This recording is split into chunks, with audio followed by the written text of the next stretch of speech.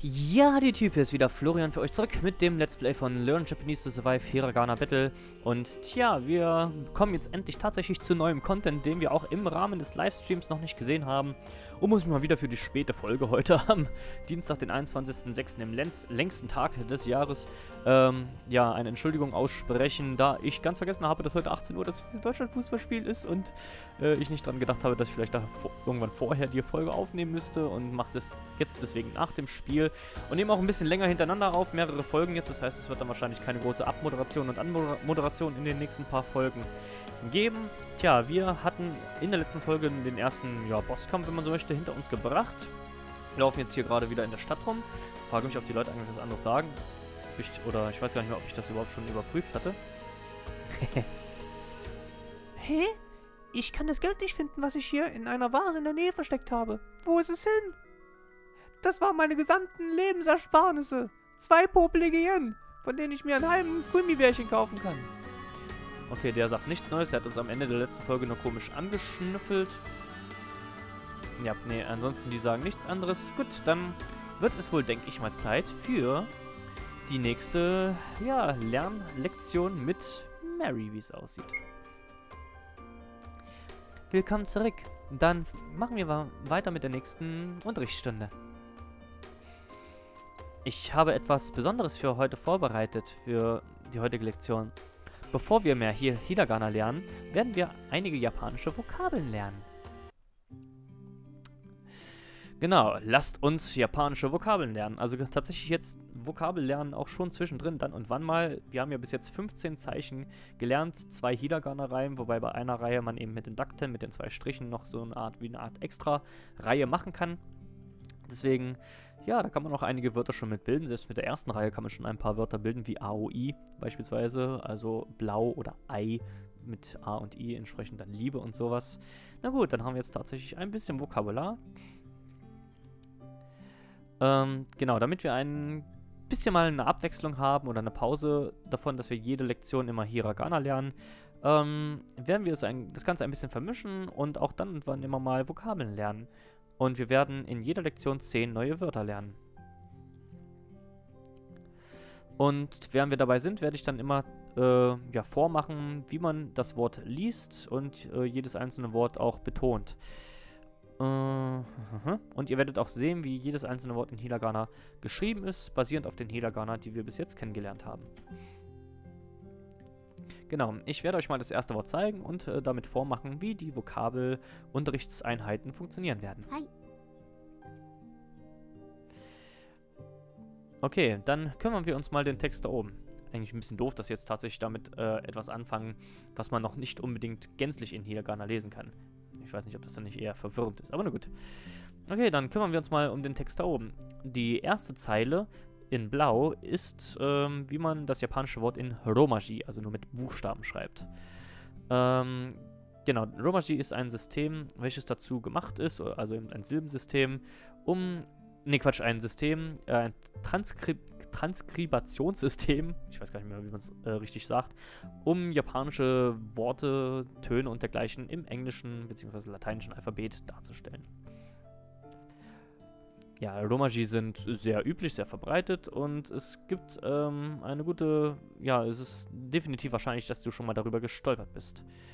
Ähm, ja, Wörter, welche vom Japanischen zum Beispiel, ach so, Wörter, die aus dem Japanischen entlehnt sind, benutzen zum Beispiel Romaji. Da kannst du an Wörter, Wörter wie Tsunami, Karaoke, Sensei, Sushi, Samurai, äh, Judo, also Judo, wie wir es aussprechen, Karate und so weiter denken. Huch, da habe ich aus Versehen falsch hingeklickt.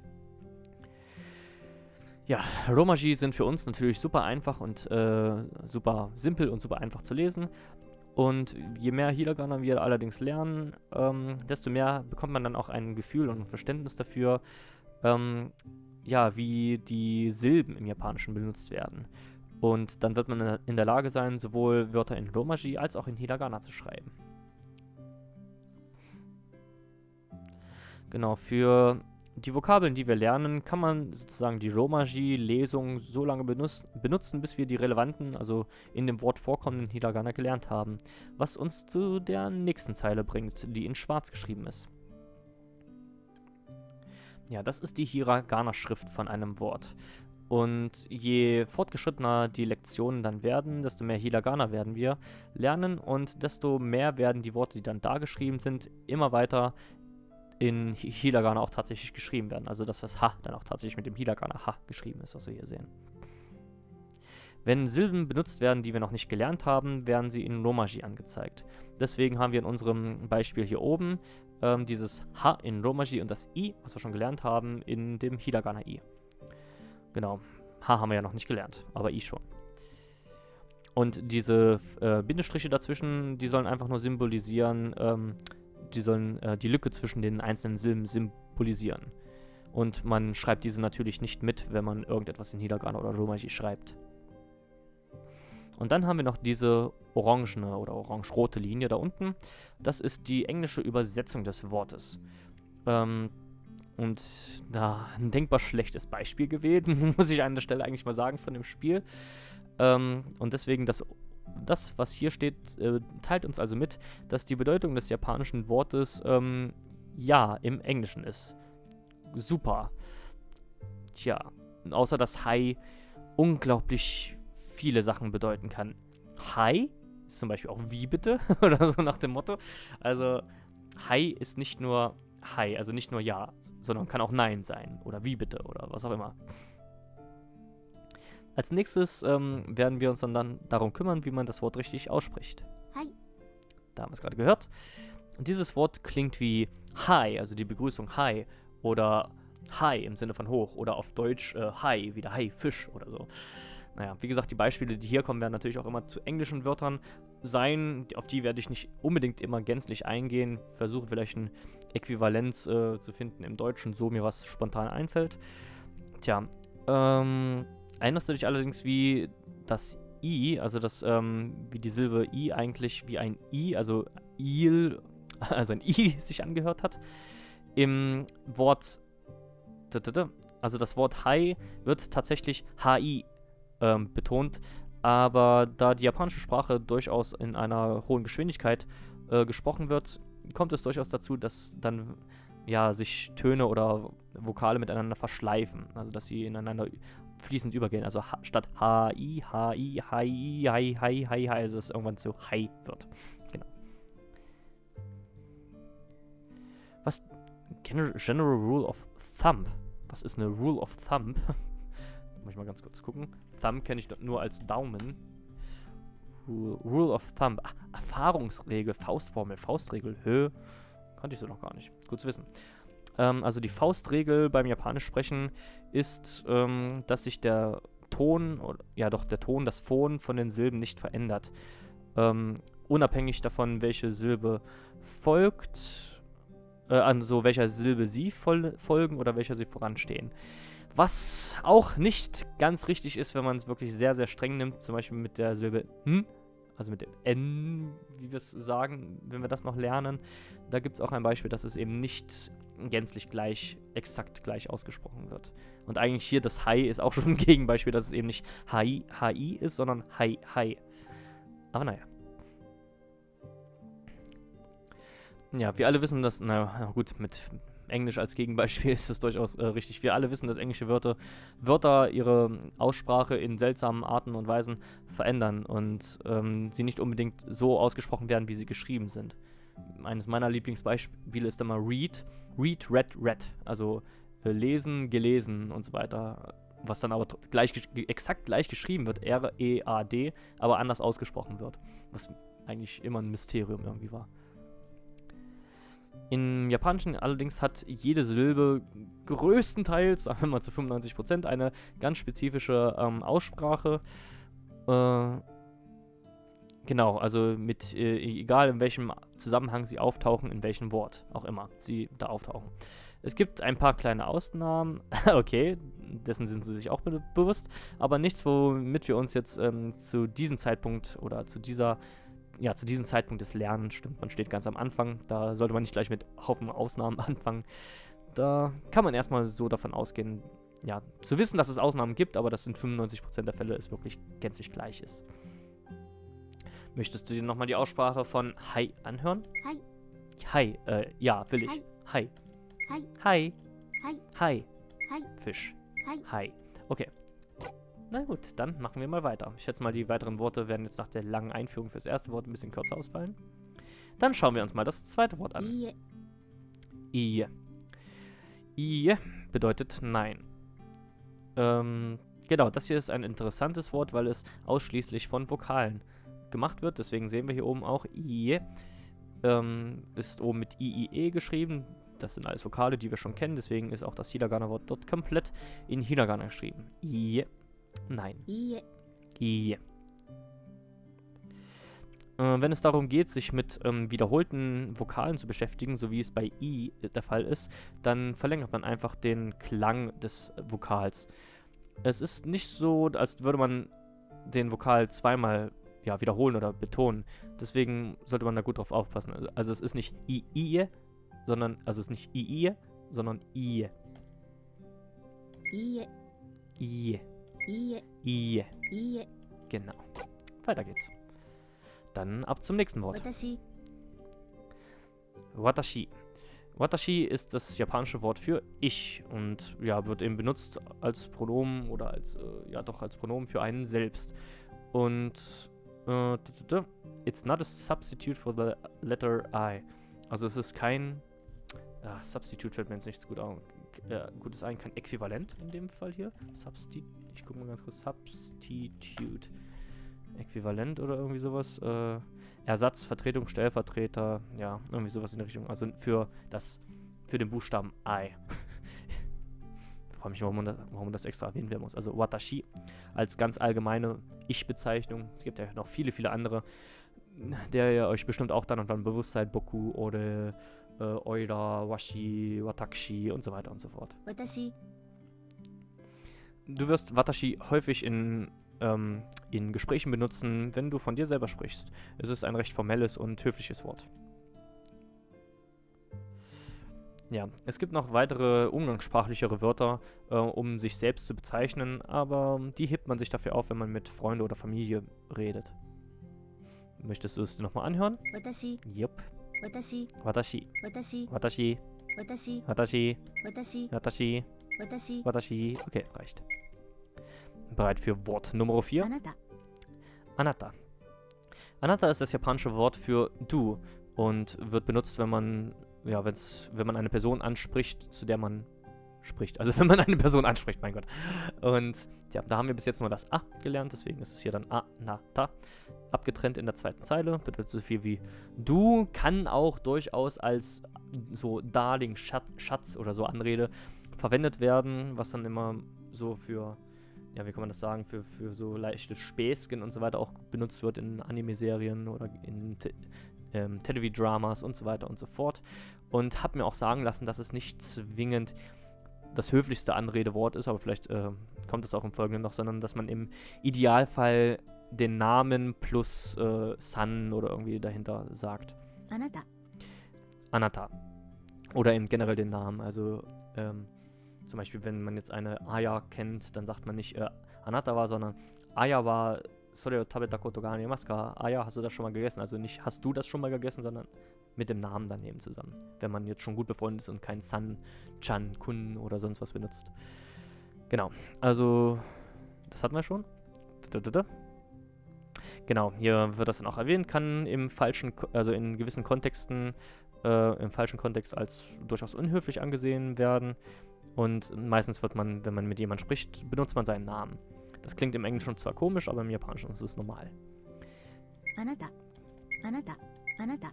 Anata. Anata. Gut, das sollte reichen. Bereit für Wort Nummer 5. Ähm, der Rest von den Wörtern in dieser Lektion äh, A for Objects used when studying. A bezieht sich auf Gerätschaften, Objekte, was auch immer, die benutzt werden beim Lernen.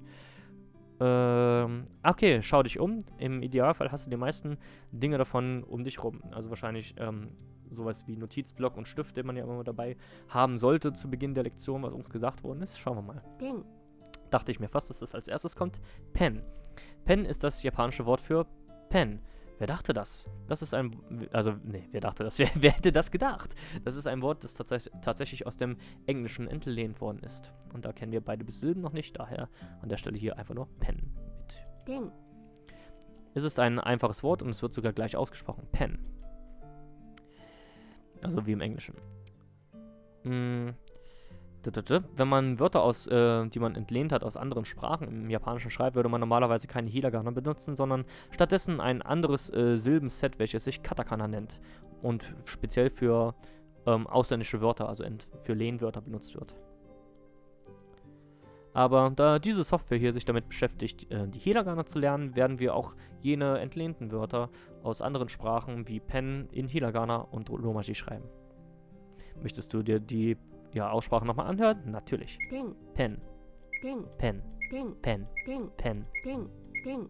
Ping. Ping. Ping. Ping. Ping. Da klingt was wie so Peng. Peng. Peng. Peng. Ping. Ping. Ping. Ping. Okay, weiter geht's. Bereit für Wort Nummer 6? NPC. NPC. Enpitsu ist das japanische Wort für ähm, Bleistift, genau. Jetzt muss ich auch ganz kurz überleben. Über, üb, überleben vor allerdings, überlegen. Da haben wir bis jetzt auch nur das erste Hiragana gelernt, das E. Alle anderen kennen wir noch nicht. Vor allem dieses Zwischen-N, was wir auch bei Pen hinten hatten, das wird wahrscheinlich das letzte Hiragana sein, was wir lernen. Genau, 筆 da haben wir es. Es ist ein bisschen schwierig auszusprech zu sprechen, deswegen ja, hör dir die Aussprache ein paar Mal an und äh, versuche es dann nachzusprechen, langsam. Möchtest du es nochmal anhören? Natürlich. Enbitsu. Enbitsu. Enbitsu. Enbitsu. Enbitsu. Gut, das sollte reichen. Bereit für Worte Nummer 7? Natürlich. Oh, da habe ich jetzt noch rüber, drüber, geredet, drüber geredet. Ja, von dem hier kennen wir tatsächlich schon zwei von drei Silben. Hinten das Q und das E. Skue. Skue. Da wird sie bestimmt gleich was zum Verschlucken des Us sagen beim Zug, könnte ich mir vorstellen, hier an dieser Stelle. Square ist das japanische Wort für Tisch. Square. Möchtest du es nochmal anhören? Ja. Square. Square. Square. Square. Square. Mich wundert, dass sie nicht sagt, dass hier bei diesem Square das zu, also das U beim zu relativ deutlich verschluckt wird, im Gegensatz zum Kue, zum Beispiel Square, Square. Also das I und U kann manchmal, wenn es so vor diversen Konsonanten steht im Japanischen, also Silben, die mit dem Konsonanten beginnen, durchaus ja, verschluckt werden, dass man es dann eigentlich kaum noch hört. Wundert mich, dass es hier gar nicht angesprochen wird. Weil ich glaube, bis jetzt war das noch gar nicht Thema. Isu. Isu. Hier haben wir dann Wort Nummer 8, Isu. Isu ist das japanische Wort für Stuhl. Isu. Isu. Willst du es dir nochmal anhören? Natürlich. Isu. Isu. Isu. Hier haben wir bis jetzt nur das I gelernt. Isu. Das Zu kommt, glaube ich, ziemlich spät erst. Isu. Isu. Stuhl. Bereit für Wort Nummer 9? Hon. Hon. Hon. Hon. Hon ist also, ja, das japanische Wort für Buch. Hon. Hon. Hon. Hon. Hon. Gut, und bereit für Wort Nummer 10? Noto. Noto. Äh, da bin ich mir jetzt gar nicht sicher. Ist es wirklich nur no, no, Noto? Weil ich, ich war immer der Meinung, dass es Noto ist, also mit einem langgezogenen O. Ich muss jetzt mal ganz kurz gucken, ob Waduku auch tatsächlich Noto kennt, danke. Nee, das müsste eigentlich hier an der Stelle Noto sein. Hm, na mal sehen, ob, ob das gleich noch unten erwähnt wird. No, also eigentlich müsste es Noto mit einem gelenkten O sein. Hm, das ist dann jetzt hier schwierig eben, weil dieses, dieses Längungszeichen, das gibt es eigentlich für die Hiragana nicht. Da müsste man es irgendwie mit Doppel-O oder OU schreiben. Ähm, während es bei den Katakana so einen schönen Längungsstrich einfach gibt für äh, die Längung von Vokalen. Ich hoffe, das wird jetzt hier noch irgendwie erklärt. Noto. Noto ist das japanische Wort für Notebook. のと Hey, sie spricht wirklich Noto aus. Aber das, das stimmt nicht. also ich habe noch nie einen Japaner Noto sagen hören. Das ist Noto. Hm. Was hier dann irgendwie ein Zeichen entweder schlechter Recherche ist von dem Spieleentwickler, der kein Japaner oder sowas ist. Also das hier nicht so merken, bitte. Also das ist wirklich, äh, ich werde das, denke ich mal, hier einblenden dann beim Schneiden, wie es eigentlich in Katakana geschrieben wird. In Hiragana schreibt man normalerweise den Längungsstrich nicht. Ich werde wahrscheinlich bei den Hiraganern trotzdem der Einfachheit halber einfach mit reinnehmen. Ähm, und dann zeigen, wie es eigentlich wirklich, wirklich aussehen müsste. Also hier das Notizheft wird eigentlich nicht Noto, sondern Noto mit einem lang, langgezogenen O gesprochen. Noto. Deswegen Noto die Aussprache da, vergesst es, hört es euch nicht nochmal an. Das ist das Ende unserer ersten Vokabellektion. Jetzt kennst du zehn japanische Wörter, die von nun an sehr nütz nützlich sein werden. Gut gemacht. Und jetzt kümmern wir uns um die nächsten Hiragana. Ähm, möchtest du den ja, Fortschritt speichern bis hierhin? Das machen wir natürlich.